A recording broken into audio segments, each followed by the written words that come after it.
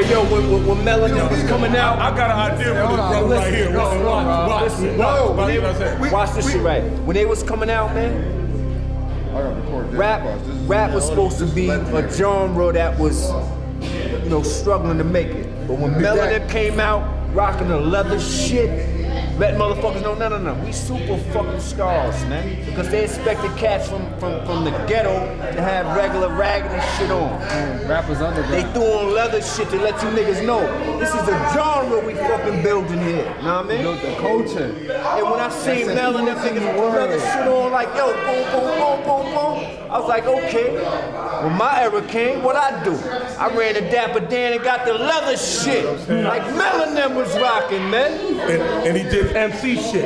If you if Like you, if you Melle Mel an was doing. if you can't rhyme about how good you can rhyme, that was the basic fundamental of MCing. You rhyme about how good you can rhyme. Listen to his shit. That's and he follows the basic code. It's, it- it's a code. Nah, man. And, and, and it's My shit. Hey look, Jay Z, like I said, all times is all time. Jay Z couldn't come in the park when we was rapping. Jay-Z was in my He couldn't. Jay Z could not come in the park when we was rapping. He couldn't say what he said when we was rapping. You know why? Because some real hard nigga would have killed this motherfucker. Bro, we're not talking about Jay-Z.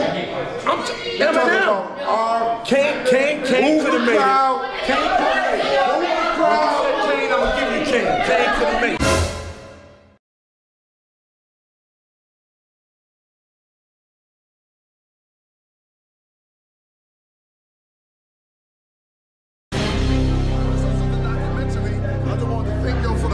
For. I thank you for the opportunity, no doubt.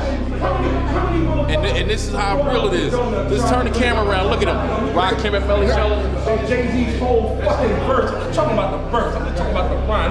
This, this nigga made some of the greatest verses. And, my, and, my, and my whole aspect of rap is this. You live- to say that no, no, no, look, now listen to what I'm I don't talk my, about- my, my whole aspect on rap is this. You live by the hook. Right. You can make money off a hook. Let the rhythm But you die by the verse. If you don't have a hot verse, you ain't gonna last. That's why your man 50 ain't here right now because he never had a hot verse. Okay. You live by the hook. All He had, he had a million hot hooks. Right. Right? Right. Million hot hooks. Still making hot you hooks. die by the verse. Right. That's how Ryan, this nigga had some of the classic, and I mean, in three, in a record, the nigga had three classic verses. Right. Those niggas don't, three classic verses. And the lines that stick with you and they're playing with your head.